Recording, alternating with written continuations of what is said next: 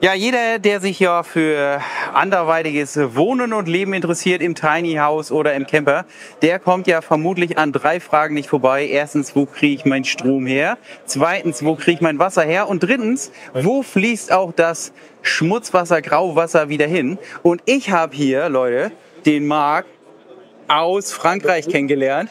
Und die haben hier eine sehr, sehr, sehr spannende Lösung. Und ich habe ihn mal gefragt, ob er für uns mal erzählen kann, was genau hinter diesem Topf steht, aber nicht nur hinter diesem Topf, sondern auch hinter dem System und vor allen Dingen, und das hat mir Marc eben schon erzählt und gezeigt, hinter dem. Und das wollen wir uns jetzt alles einmal ganz kurz erklären lassen. Ja, dann fangen wir äh, beim Anfang an. Ja, also vielleicht, vielleicht ganz kurz, Marc, erzähl mal äh, noch mal ganz kurz, wo kommt ihr her, wo sitzt ihr? Genau, so wollte ich gerade machen. Also Super. uns gibt es seit 2007 wir sind in Frankreich, im Elsass und in der Bretagne und unser Hauptberuf ist, sind äh, Abwasserreinigung, also Wasserkläranlagen durch Pflanzen, also ähm, für individuelle Haushalte. Äh, wir, haben, wir machen um die 3000 Anlagen im Jahr in Frankreich. Äh, die sehen so aus, also es sieht aus wie ein Garten. Das sind Allwasseranlagen sind vom Umweltministerium in Frankreich genehmigt. Und das ganze Wasser aus vom Haus fließt dann so in Becken rein, äh, die mit Schilf und mit Wasserpfl Halbwasserpflanzen bepflanzt sind und wird dann äh, an Ort und Stelle behandelt und äh, geklärt. Und es fließt dann wieder raus äh, und es wird äh, an Ort und Stelle versickert im Boden. Ist auf jeden Fall sehr, sehr spannend. Und wenn du sagst, alles Wasser, dann meinst du auch alles Wasser, ne? Alles Sowohl Wasser. das Klowasser als auch das Schwarzwasser wie Grauwasser, das sind Allwasseranlagen, werden eben je nach, äh, je nach Einwohnerzahl dimensioniert. Ja. Also je mehr Einwohner da, da wohnen, je, desto größer äh, wird, wird der Wasserklärgarten, wie, wie wir das nennen. Sehr schön. Äh, und aus dieser Idee haben wir ein paar Nebenprodukte entwickelt. Äh, nämlich für ungewöhnliches Wohnen, für Zirkuswagen, Tiny Häuser. Äh, das Prinzip ist immer da, da, da, das gleiche. Äh, das Wasser fließt äh, auf, auf ein, in, in, einen Filter rein, wird dann auf, an Ort und Stelle bearbeitet äh, und, und geklärt und versickert dann im Boden. So, also das Wasser kommt hier aus dem Haus, hier in diesen zwei Filtern rein. Die sind mit Schilf bepflanzt. Und äh, das Wasser, das ganze Wasser, sogar äh, schwarzes Wasser, kommt hier das mit dem Klopapier, Fäkalien werden hier, äh, werden hier zurückgehalten und das Wasser fließt dann durch verschiedene Schichten äh, in den Filter durch und versickert dann im Boden. Äh, das mit den Fäkalien und das Klopapier ist kein Problem, da sind Gitter drauf und äh, es kompostiert auf natürliche Weise. Also es entstehen kaum Gerüche. Äh, es gibt keine Gärung, da kein Wasser im Filter stecken bleibt. Das Wasser fließt durch und wird dann im Boden versickert. Falls es Regionen gibt, wo ein bisschen strengere Normen gibt, zum Beispiel wenn man neben einem Fluss ist oder neben einem Bächlein, kann man das Wasser nicht direkt ins Bach, äh, nach, die, nach dieser Stufe nicht direkt ins Bach einleiten. Dann hat man auch hier einen Horizontalfilter, die noch die Filterung äh, verbessert. Und dann kann man es äh, entweder im Boden oder dann auch in, äh, im Wasser versickern lassen äh, also einleiten. Super spannend. Sag mal, wenn ich jetzt Interesse habe und ich habe halt zu Hause oder ich habe halt auf meinem Grundstück, wo ich mein Tiny House hinstelle, keine Möglichkeit, um an das Abwasser angeschlossen zu werden. Ähm, und ich euch beauftrage, dann kommt ihr mit einem dicken Bagger und hebt dann ein Loch dann aus oder wie? Genau, so funktioniert nicht nicht unbedingt ein Loch. Also für Tiny Häuser äh, Abläufe bei Tiny Häuser sind, liegen ja ziemlich tief. Äh, da muss man ein bisschen baggern. Äh, für solche, solche Gärten muss, äh, muss man meistens wird gebaggert, aber nicht unbedingt. Man kann es auch äh, direkt auf den Boden stellen. Das, das sind dann so große Becken und äh, es kann auch es ist nicht unbedingt in der Erde eingebaut. Man hat mehrere Versionen. Man, es ist je nach Neigung und je nach, äh, je nach Grundstück Ja. verschiedenes machbar.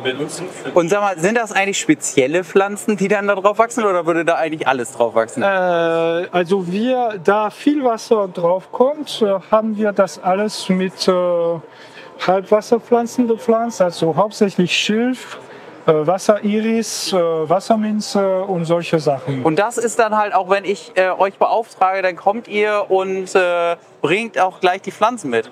Wir bringen auch die Pflanzen mit, ja, natürlich. Das können wir machen. Das Substrat, die Pflanzen können wir mitbringen. Ja. Äh, meistens äh, werden die äh, vor Ort, äh, wir beschaffen die wir bei, bei örtlichen Gärtnereien oder wir versuchen es am meisten lokal zu halten. Ja. Äh, die Pflanzen werden natürlich, also das Einzige, was mit diesen Gärten geschieht, ist im Winter trocknen die Schilfe aus, wie in der Natur auch. Dann muss man das wegschneiden. Ja. Äh, Das System funktioniert winterüber problemlos, da es äh, hauptsächlich die Bakterien sind, die arbeiten, die in den, in den Wurzeln der Pflanzen leben. Ja. Und dann wird das so bearbeitet. Das, das Schilf sieht schön im Sommer aus, im Winter ist es natürlich ein bisschen äh, kürzer. Und dann im Frühling wächst es wieder nach. Und dann am nächsten Herbst, Winter muss man das wieder abschneiden. Es ist nur einfacher Gartenarbeit. Und ich muss halt auch mit meinem Abwasser jetzt, ich muss jetzt nicht spezielles Spülmittel kaufen oder spezielles. Waschmittel. Also, also jetzt entweder, ja, Ich meine, unabhängig davon, dass man das sowieso machen sollte, ja, eigentlich, ne? man kann auch noch mit äh, Palmolive oder mit Ja. solchen Sachen arbeiten. Äh, also wenn ihr jetzt äh, Unmengen von Chlor in, in, in die Toilette reinspült, wird Okay. es vielleicht ein bisschen schädlich für die Pflanzen sein. Ja. Aber das Wasser ist ja dermaßen verdünnt, Ja. dass ein bisschen Palmolive oder dass ein bisschen Chemikal Che- Chemikalien Ja. äh, das eigentlich den ganzen nichts ausmachen. Super cool. Und jetzt habe ich hier gesehen, ihr habt das genauso auch nochmal als kleine Lösung, ne? Genau, also da, von dieser Idee sind wir ausgegangen, um, äh, um äh, Mini- Mini-Kläranlagen für Tiny Häuser anzubieten. Also zum Beispiel haben wir hier, wir hier das Phyto-Tiny-System, ist eine Abwasserklärung durch Pflanzen für Tiny Häuser, Zirkuswagen, Jurten. Ähm, und es ist äh, eigentlich hauptsächlich für Grauwasser gedacht. Also es funktioniert mit Trockentoiletten, also da muss es schon, da kann man nicht Fäkalien drauf, drauf, äh, drauf äh, spülen. Aber es ist, äh, für alle, es ist eine Lösung, also die, das ganze Wasser aus der Dusche, aus dem Waschbecken, aus, dem, äh, aus der Waschmaschine, aus der Küche, aus der Tiny House, kommt dann wie in, in unsere große, größeren Gärten in diesen Topf rein. Und dann wird es im Topf gereinigt. Und äh, als, wenn es aus dem Topf rauskommt, ist es schon, erfüllt es schon die Norm der Ablaufklasse C ein. Und dann wird, es, wird das Abwasser fließt durch den Topf und wird unterirdisch in eine Versickerungszone ein, eingeleitet und versickert dann so im Boden. Könnte ich das dann halt auch, ähm, äh, also das Wasser aus dem grünen Topf auch schon zum Bewässern meines Gartens nehmen? Also wenn ich Also jetzt, theoretisch ja. Also das mit dem Tiny Häuser ist immer ein Problem, weil der Auslauf bei dem Tiny Häuser der, Wasser, äh, der Abwasserauslauf ziemlich tief liegt. ja, Also werden diese Töpfe meistens äh, ein bisschen in der Erde eingebaut. Äh, die sind dann am Ende so 20 cm, 20 bis 30 Zentimeter hoch. Und das ganze Klärungsprozess findet dann unterirdisch statt, im Topf statt.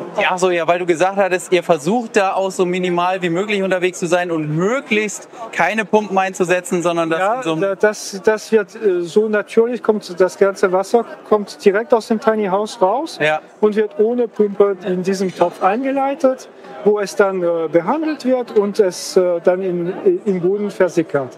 Also wenn, wenn es aus dem, der Topf ist ja dicht und wenn es aus dem Topf raus, rauskommt, äh, wir haben so einen Lysimeter eingebaut, dann kann man Probe machen auch. Wenn es aus dem Topf rauskommt, erfüllt es schon die, äh, die Norm des, der Ablaufklasse 10. Aber wir verbessern das durch eine, durch eine Versickerung im Boden. Vielleicht kannst du ganz kurz mal was dazu sagen? Was, was ist das? Was heißt denn diese Klasse? Heißt das, dass ich das Wasser dann so in, in die Erde geben kann? Oder? Genau, ja. also auch amtlich ist es, also äh, Wasserbehörden ist, äh, liegt ja, hab, es gibt ja lokal ziemlich viele Unterschiede man müsste sich schon erstmal ein bisschen äh, erkundigen. Also ja. Es ist auch nicht für, für jeden, jeden Bedarf gedacht. Okay, aber jetzt, wenn ich jetzt als Laie, ne, ich habe mir jetzt hier ein Tiny House bestellt und ja. ich als Laie hätte jetzt ja nicht so viel Ahnung. Würdet ihr das theoretisch auch machen, das Management mit dem, mit dem Wasseramt, wenn ich auf euch zugehe und sage... Also das mit den Wasserbehörden ist dermaßen lokal, dass äh, wir das lieber den Kunden äh, ja, okay. überlassen. Ja, okay. Ja, und was, wäre, ich müsste da dann fragen, theoretisch funktioniert es ja meistens an den Standorten, wo ohnehin kein Abwasser Ja, genau. Also äh, wenn, wenn, wenn, du zum Beispiel deine, dein Tiny House im Garten aufgebaut hast, ja. kannst du dich äh, an die Kanalisation anschließen und äh, brauchst äh, so, so, ein System nicht. Ja. Aber wenn dein Tiny House im Wald steht oder oder in, in einer Lichtung oder auf einer Wiese, äh, dann brauchst du, könntest du sowas brauchen, weil das Wasser an Ort und Stelle behandelt wird. Dort gibt es keinen Anschluss zur Kanalisation. Ja. Und wenn, es, wenn, der, wenn, die, wenn das Tiny House mal weg ist, kann man das auch wieder rausnehmen und, äh, und das, es ist minimal invasiv. Also und hab, habt ihr denn, äh, wenn ich jetzt äh, theoretisch dann genau vor dieser Herausforderung bin und einmal mit dem äh, Wasseramt sprechen soll, gibt es da sozusagen wie so eine so einen Nachweis, eine Zertifizierung für, dass also ich denen sagen kann, ganze, also ich würde das System unsere einbauen? ganze Systeme haben auch ein Herstellerzertifikat, ja. wo wir unsere, unsere, das Qualität des, Ab, des Abwassers garantieren. Man kann es jederzeit mit dem Lysimeter messen, also ja, okay. man kann messen und Analysen machen und es kann äh, nachgewiesen werden. Weil es geht ja wahrscheinlich erstmal, wenn ich dann halt mit dem, mit dem Amt zu tun habe, geht darum, dass ich denen irgendwas sagen muss. Ja, klar. Ja sagen, also das würde ich als Lösung dann einbauen haben wir ein kleines Dossier, das okay, wir Ihnen schicken und äh, ja, die ganzen Werten. Und das ist schon mal eine Grundlage für, für, für mit dem Amt zu, zu reden. Klasse. Sag mal, und äh, das ist ja immer so ein bisschen die Gretchenfrage, ne? Aber äh, ich habe jetzt das Grundstück, ich habe äh, die Möglichkeiten. Wie viel oder was kostet es denn? Was, was, was darf ich denn bei euch bezahlen, um also, äh, so diese eine, Lösung jetzt so eine Phytotiny kostet bei uns, äh, also nur das Material, der äh, das Filterungssubstrat und äh, die ganzen Leitungen kosten bei uns um die 1000 Euro. Ja. wenn, wenn ihr das selbst einbaut. Äh, dazu müssen Sie noch äh, Holzkohle dazu machen, Sand und, und, und Hackschnitzel, Hackschnitzel Holz, Holzschnitzelplaketten und Pflanzen. Kostet um die 200 Euro mehr, also 1200 Euro. Dazu kommt noch Transport, 100 Euro. Und äh, man, wenn ihr das zum, zum Beispiel für ein Tiny House benutzt, dürft, müsst ihr auch einen Tag mit einem Minibagger einplanen. Also entweder könnt ihr das Minibagger selbst steuern oder da müsst, müsst ihr einen erfahrenen Baggersteuerer dazu nehmen. Ja. Das kostet dann noch extra. Aber wenn ich das äh, rundum sorglos Paket quasi haben will, dann würdet ihr theoretisch, ich sag mal so, ich will jetzt in Hamburg ein kleines Tiny House haben, ja. würdet ihr auch nach Hamburg kommen und das für uns machen? Ähm, äh, ja, das könnten wir versuchen. Wir haben ein paar, ja, ein paar Partner in Deutschland, also nicht unbedingt in Norddeutschland. Ja. Aber wenn, man könnte das äh, je nach Wunsch äh, besprechen. Super, klasse, okay. Ja, dann, äh, euch findet man unter und der Internetseite www.aquatiris, hier steht es, de.de. Wir haben einen deutschen, eine deutsche Internetseite und eben auch eine französische Internetseite, englische, spanische. Ihr, ihr, ihr tippt mal Aquatiris äh, auf Google ein oder yeah. auf andere, andere Sachen ein und ihr findet uns leicht. Super. Und ansonsten ist ja auch die Bretagne immer eine Reise wert, ne? Ja, auf jeden Fall. Klasse. Vielen, vielen Dank. Ja. Danke dir.